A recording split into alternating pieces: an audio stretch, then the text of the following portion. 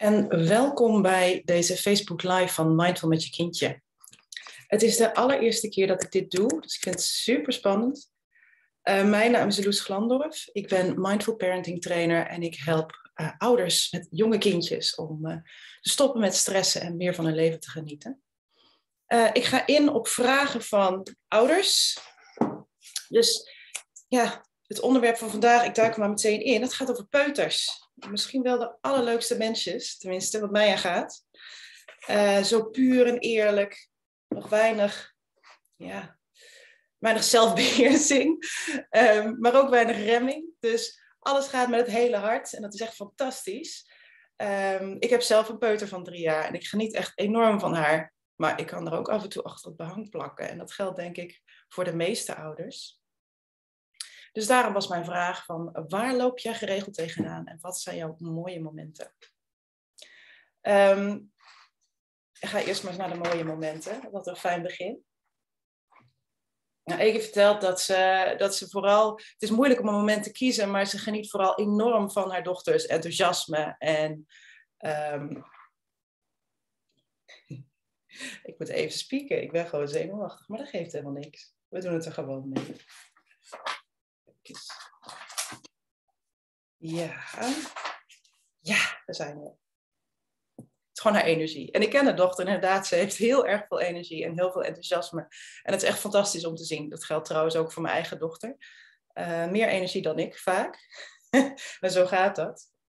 Uh, en Heidi vertelt dat ja, die is eigenlijk altijd heel blij met alle dingen die uh, haar dochter ontdekt. Maar waar ze vooral tegenaan gaat lopen is wat als haar dochter nou echt haar wil gaat ontdekken en bijvoorbeeld alleen nog maar spijkerbroeken aan wil, zelfs onder jurken. dat was een vraag van haar. Of hoe ga je ermee om als je peuter beslist dat uh, middagslaapjes helemaal niet meer nodig zijn en uh, uit bed klimt? En ik vind deze ook een hele mooie. Maar hoe blijf je kalm als je keuken op initiatief van je peuter met een hele fles zeep gepoetst wordt?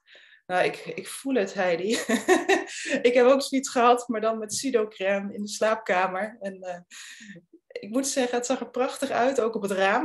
maar uh, ik moest wel even heel hard lachen. Ja, en als dat natuurlijk wat ernstiger is dan, uh, dan een beetje pseudocrème op zeep, hoe ga je er dan mee om? Weet je, hoe ga je om met lastig gedrag van je peuter? Nou, ik heb daarvoor even een kleine presentatie voorbereid. Gaan we eens even kijken hoe dit werkt allemaal.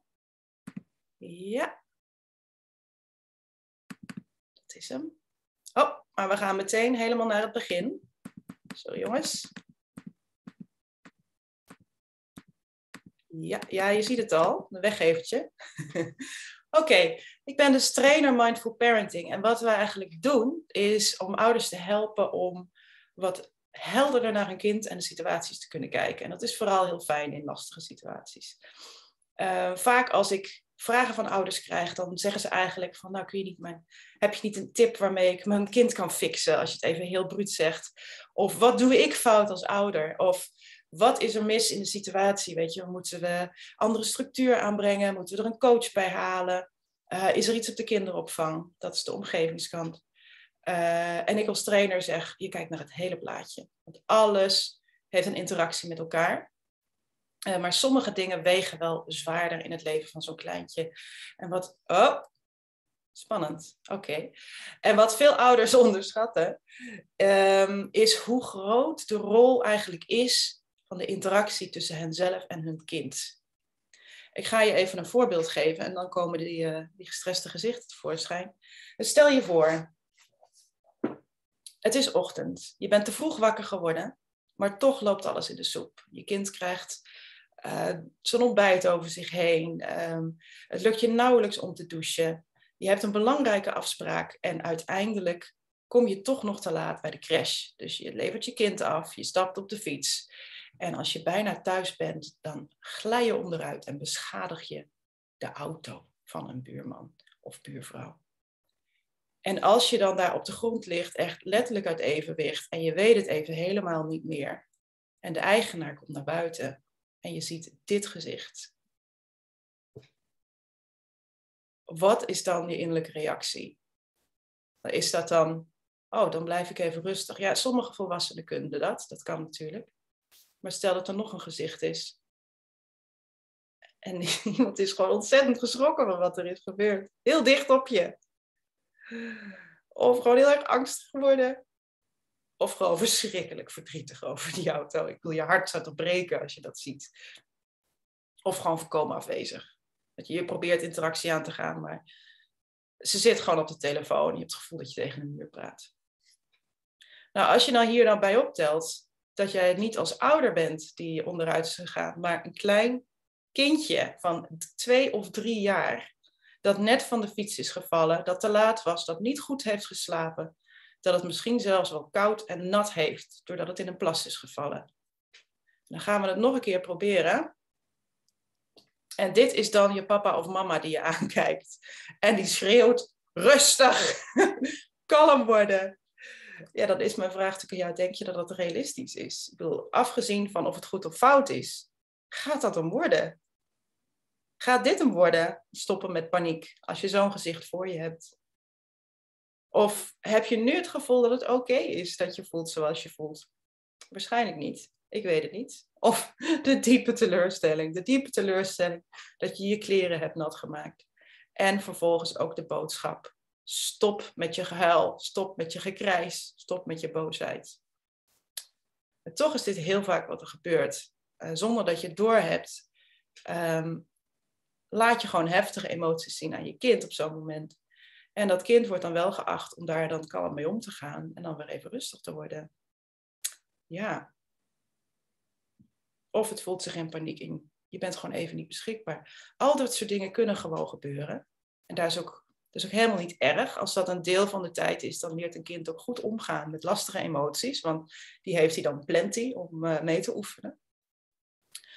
Maar stel je voor dat iemand je op zo'n moment aan het lachen maakt.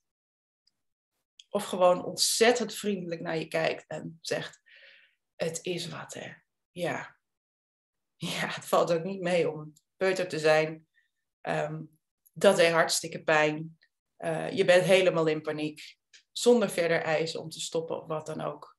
Zou je dan kalmeren? Ehm, niet alle peuters, helaas, maar wel veel.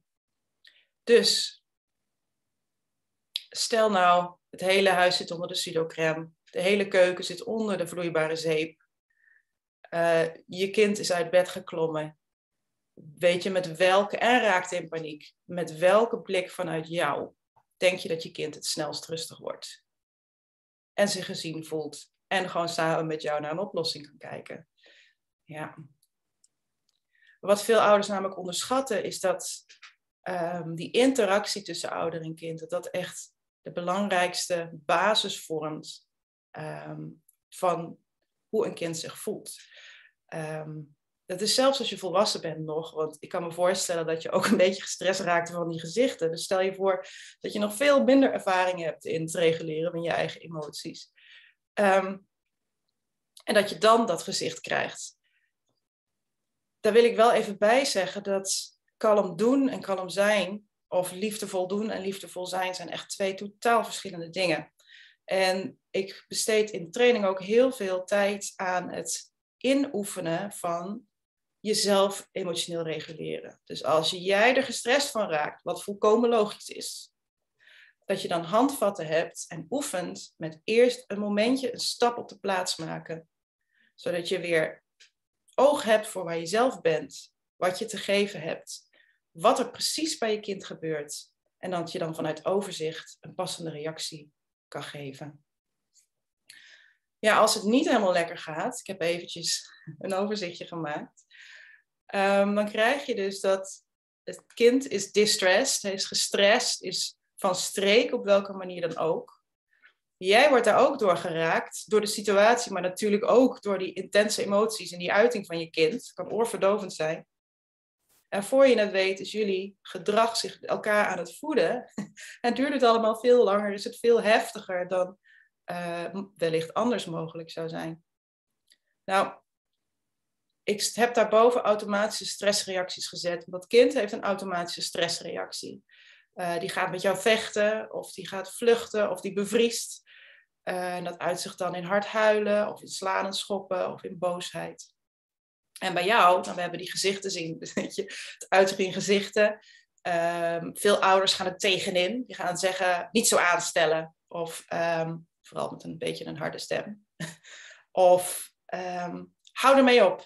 Doe ik ook regelmatig. Uh, maar op dat moment zitten ze vaak in een automatische stressreactie. Weet je, als je gewoon zelf gestrest wordt van wat er gebeurt, dan gebeuren er een paar dingen. Het belangrijkste is dat onder stress dat je niet meer jezelf goed in de hand hebt. Je krijgt tunnelvisie. Je ziet alleen nog maar dat kind en wat het kind doet, het krijsen of het boos zijn of wat het ook is. Ehm, en je stresssysteem gaat aan. Dus je bent ook niet meer onder controle, uh, niet meer in de controle heb je wat, je wat je nou precies gaat doen met dat kind. Het overkomt mij regelmatig, moet ik zeggen. Ehm, maar je kan dat wel heel erg veel verminderen en ook veel meer met een passende, ehm, een passend gedrag komen, een passend antwoord, waarbij je jezelf kan bijsturen en je kind ook. Nou, als dat lukt, jezelf bijsturen en je kind, dan heeft iedereen winst. Dan heb je niet alleen uh, dat het minder escaleert. Um, je hebt dat het gedrag van het kind zich lekker uit kan leven en kan uitdoven, veel sneller, omdat er geen olie op het vuur zit. Uh, je kind, je bent aanwezig bij je kind met een kalme aandacht. En voor veel kinderen is dat al eigenlijk de belangrijkste stap die je voor hen kan zetten. Dat jij laat zien dat je niet schrikt, niet in paniek raakt en je niet laat provoceren door wat het kind doet. Een kind, als het gestrest is, wil over het algemeen gewoon graag gezien worden. Dus zelfs als je kind zich wegduwt, dat was, dat, daar heb ik alle ervaring in, het kind duwt je weg. Um, je stapt een stap naar achteren. Je denkt, weet je wat, zoek het maar even uit, ik loop weg. Op dat moment kan zo'n kind ook weer in paniek raken. Um, omdat ze eigenlijk geen raad weet met hun eigen emoties en hun eigen stressreacties. Dus als jij jezelf kan reguleren, als je aanwezig bent bij je kind op dat moment, als het van jou kan zien dat het niet zoveel is om bang voor te zijn. Het is misschien ontzettend onprettig en doet pijn in je oren. En het is misschien niet bevorderlijk voor de sfeer in huis. Maar het is niet het einde van de wereld. Nou, hoe vaker je dat laat zien aan je kind, hoe makkelijker het wordt voor je kind om vertrouwen te krijgen. En dat emoties wel vanzelf voorbij gaan. En dat je ook niet zo hard hoeft te schreeuwen om gehoord te worden. Oké. Nou, hoe doe je dat dan? dat stoppen met je eigen stressreactie en even inchecken bij jezelf. En even inchecken bij je kind. Daar hebben we binnen de Mindful Parenting met kleine kindjes een techniek voor. Die staat ook op mijn website. Je kan de audio gratis beluisteren. Als je je aanmeldt voor de inspiratieshots, dan kun je hem ook gratis downloaden via een link. Uh, en dit heet de ouder-kind ademruimte. Nou, als je iets van mindfulness weet, dan herken je misschien het woord ademruimte. En dat is een drie minuten durende oefening waarin je even incheckt bij jezelf. Je hele systeem helpt om tot rust te laten komen. En dan vervolgens je, je bewustzijn uitbreidt naar je lichaam. Waardoor het makkelijker wordt om te voelen waar je behoefte aan hebt. En ook om te zien waar je bent en waar de hele situatie eigenlijk is, wat er nodig is. Nou, Eva Pothorst, ik laat even haar foto zien, van um, Mindful met je peuter. Die heeft de training ontwikkeld die ik geef. Die heeft een aanvulling gedaan daarop. En die heeft de ouderkind ademruimte ontwikkeld. En daarbij doe je dus niet alleen aan zelfregulatie, maar ook aan co-regulatie. Dus je helpt uh, je kindje door je in te leven in wat je kindje op dat moment ervaart. Um, waardoor je er woorden aan kan geven. Uh, vooral bij peuters, als ze gestrest zijn, dan is hun hele informatieverwerkingssysteem, net zoals bij ons, even naar zijn grootje. Kan ook niet goed meer praten vaak of niet samenhangend. En als je er zelf dus woorden aan geeft voor je kind, um, dan help je een kind dus om dingen te plaatsen en tot rust te komen. Oké, dus het bestaat uit vijf stappen. In stap 1 maak je een soort weerbericht van hoe het met jezelf gaat. In stap 2 focus je op de adem. En uh, in stap 3 op je kindjeservaring ga je echt van, oké, wat voelt het kindje in het lichaam? Wat voelt hij uh, emotioneel? Wat zou er in het hoofdje om kunnen gaan? En met name, wat voor behoeftes heeft je kindje? Um, dat geeft je dus dat overzicht en inzicht van wat zie je nu eigenlijk aan de hand. Situatie, ah, mijn kind heeft al te lang niet meer gegeten. of mijn kind is overprikkeld. Ehm, die haal ik er even bij. Oh, ik ben echt al een tijd aan het praten, zie ik. Dus ik ga het zo afronden. Ehm, met overprikkeling bedoel ik eigenlijk alles wat het systeem van een kindje uit balans heeft gebracht. Dus dat, je kan het zelf rustig even lezen. Het kan van alles zijn. Ehm, maar een behoefte is nog niet vervuld of is tevoorschijn geplukt. En daardoor is het kindje uit balans. Um, het punt is natuurlijk dat ik zou natuurlijk advies kunnen geven van, goh, wat kan je nou precies doen bij ongewenst gedrag van je kind? Uh, maar het is dus veel belangrijker om te zien van wat gaat er eigenlijk, wat zit er onder dat gedrag van je kind? Welke behoefte ligt eraan ten grondslag? Dus het kindje dat uit het bed klimt, het kan zijn dat je kindje behoefte heeft aan autonomie.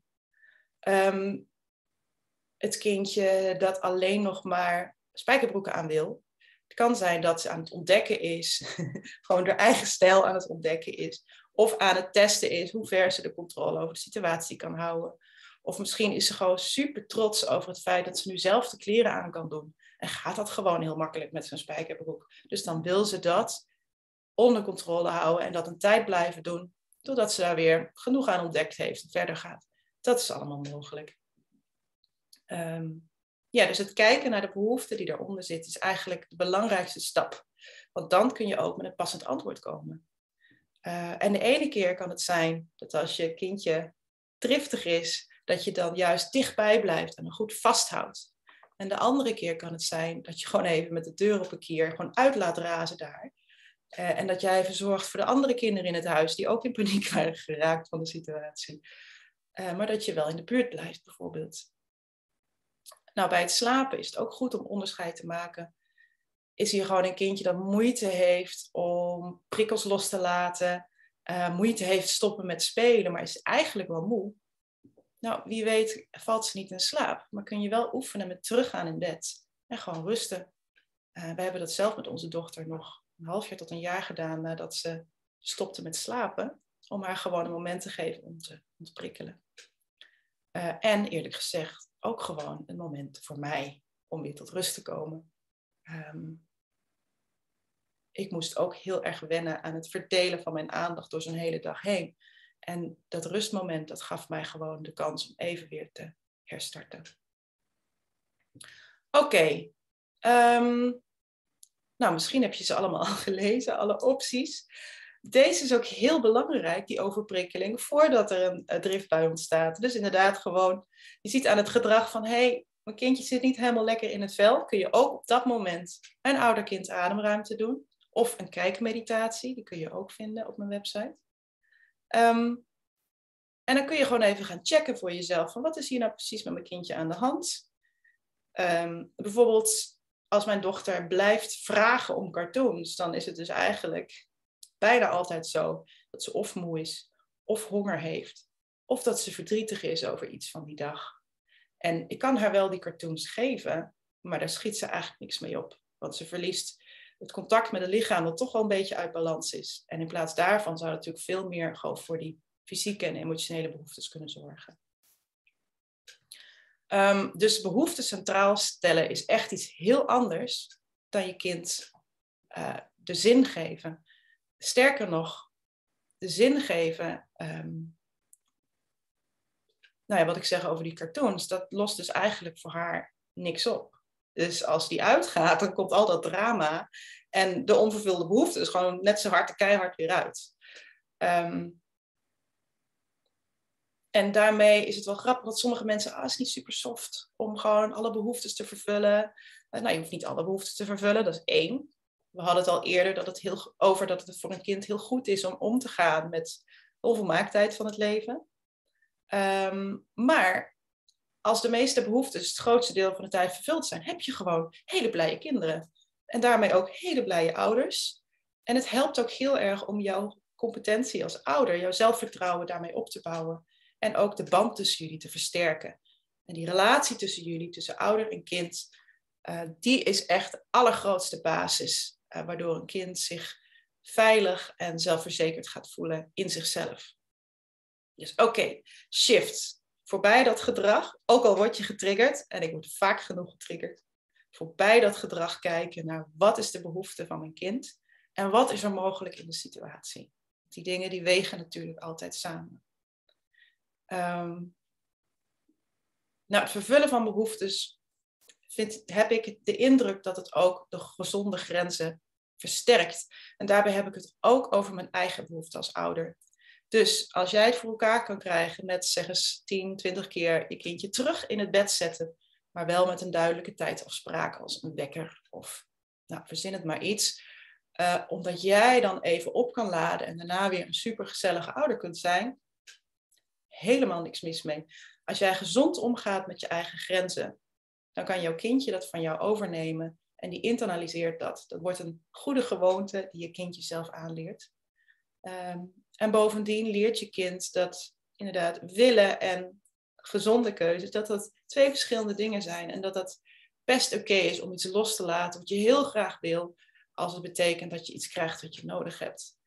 Uh, en hopelijk een alternatief. Dat werkt natuurlijk altijd bij peuters. Om iets aan te bieden wat dan wel mag. Misschien niet de hele, niet de zeep, de hele keuken schoonmaken. Uh, maar misschien kunnen jullie dan, er is een behoefte om mee te doen. Vervolgens gezellig samen alles opruimen. Nadat alles bedaard eh, en gekalmeerd is. Nou, even kijken, heb ik dan de vragen beantwoord? Ik ga weer heel even bladeren.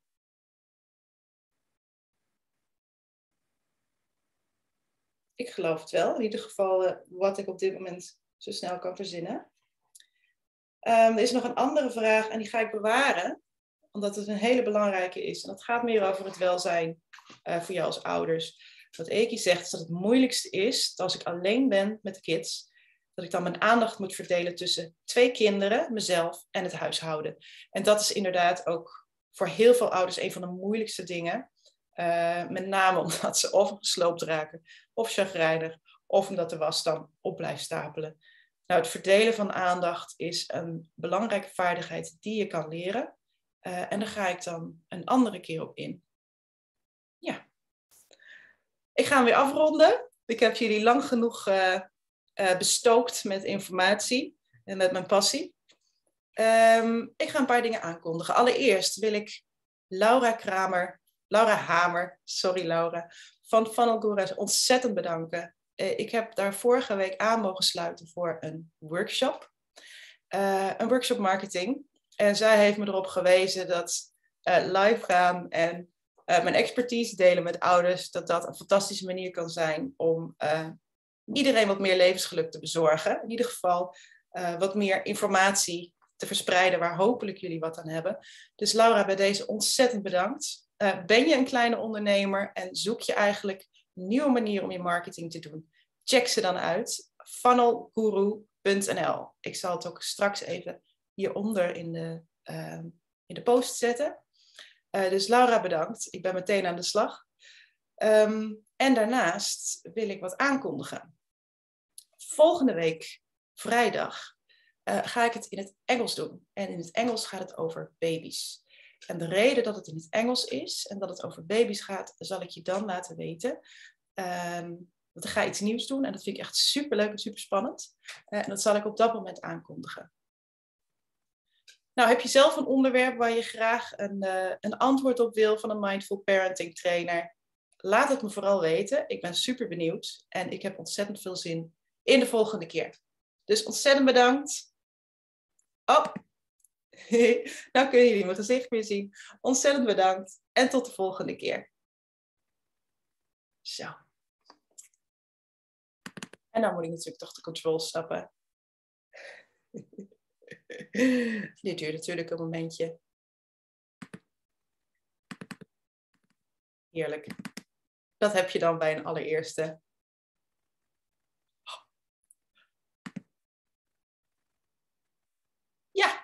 Oké, tot de volgende keer.